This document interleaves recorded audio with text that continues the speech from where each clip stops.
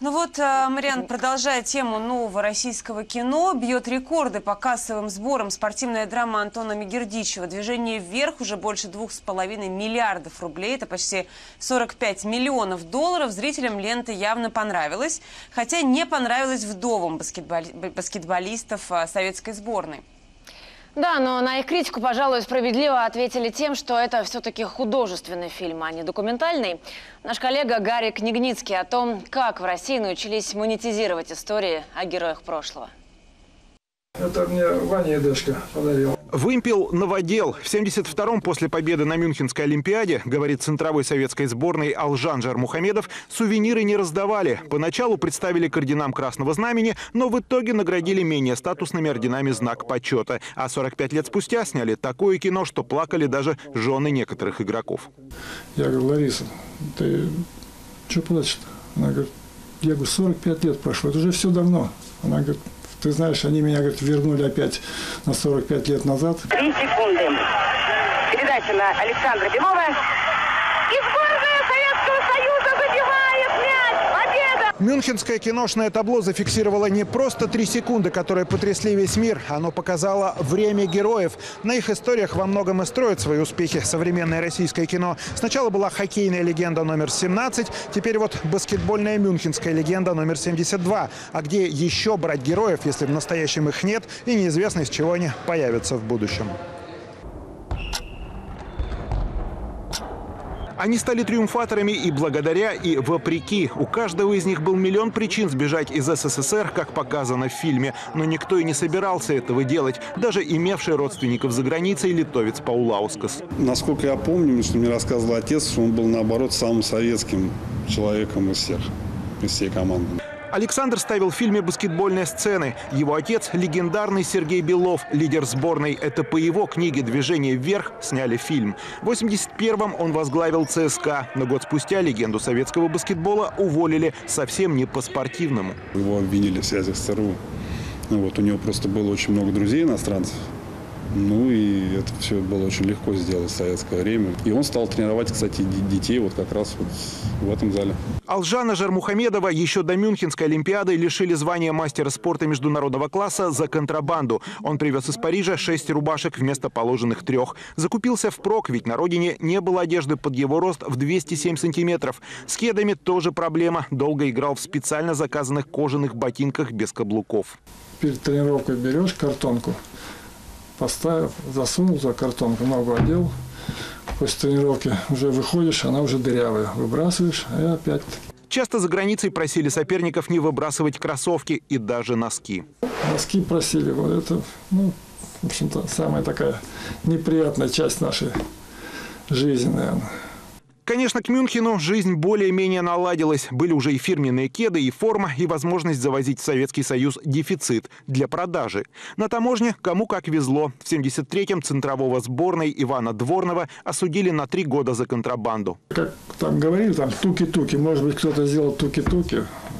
Вполне во- возможно, что в каждой команде всегда ездил замначальника делегации, так называемый, это всегда из КГБшников был. Уже в статусе олимпийского чемпиона с Жермухамедовым опять случился инцидент на таможне. Сборная больше месяца была в турне по Северной и Южной Америке. При возвращении в Москву в сумке игрока оказался пистолет.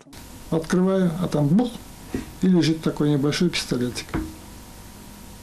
Что это такое? Я не знаю. Откуда? Не знаю, говорю. Ой, началась эта шумиха туда-сюда. За это сразу меня бах-бах. Ничего, не, еще ничего не, не разобрались. Ничего. Сразу заслуженного мастера лишили сборной СССР. От, исключили, дисквалифицировали, запретили играть.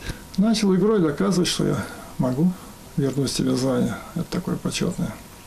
А зачем вам подбросили? А кто его знает? Трудно сказать. Может, в отместку за Олимпийские игры.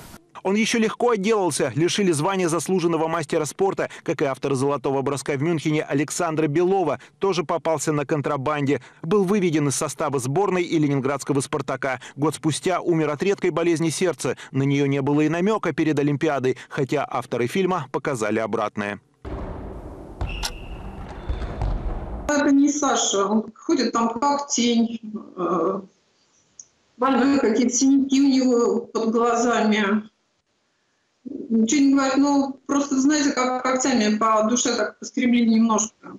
Весь фильм не документальный, художественный, подчеркивают его авторы, построен вокруг мюнхенского финала, на фоне которого создатели движения «Вверх» и раскрывали характеры героев, независимо от того, когда проявили себя реальные персонажи. В чем заключается миф и легенда? Мы позволили себе вот эти их э, поступки, если хотите, через которые э, раскрывается каждый член баскетбольной команды, тренер и прочее, расположить под действию фильма, как будто они были в сжатое время, в том месте, в том времени, в котором нам нужно. Но семьи тренера Владимира Кондрашина и баскетболиста Александра Белова стали судиться, пока безрезультатно. Пусть студия 3 снимет фильм о семье Михалкова, где его там жена, родные, там, я не знаю, дети будут смертельно больны, пить там, гулять, э, спать с кем попало. Пусть студия 3Т снимет этот фильм и покажет на Михалкове. Тогда как он поговорит?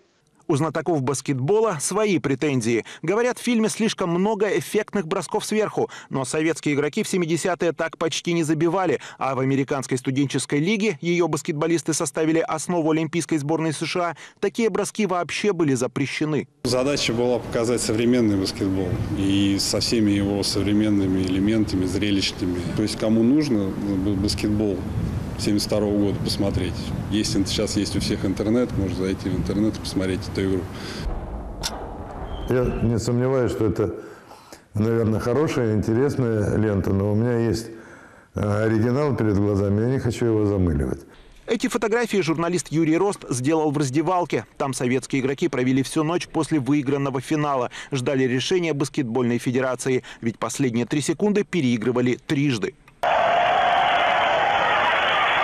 Три секунды до конца встречи.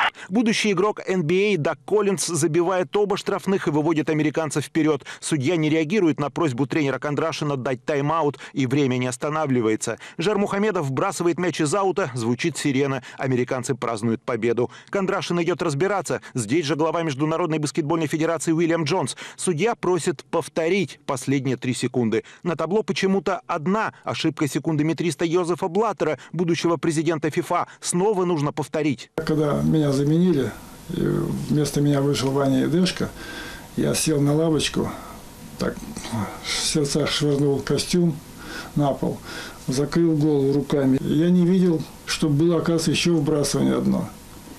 Вот.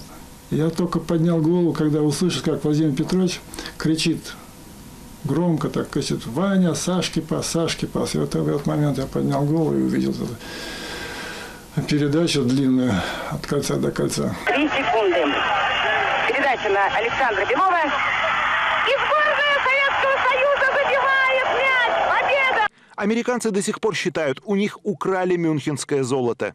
Был настолько противоречивый конец этой игры, поскольку советская команда получила три шанса. Для американцев это стало потрясением. США никогда не проигрывали, так что когда они проиграли, с учетом еще и того, как они проиграли, это стало последней каплей. Но даже спустя 45 лет и баскетбольная федерация, и, как ни странно, МОК признают, советская сборная одержала заслуженную победу, которая сама по себе состоявшийся триллер. Гарик Княгницкий, Андрей Воробьев, Дмитрий Турлюн, Игорь Милузов, RTVI, Москва.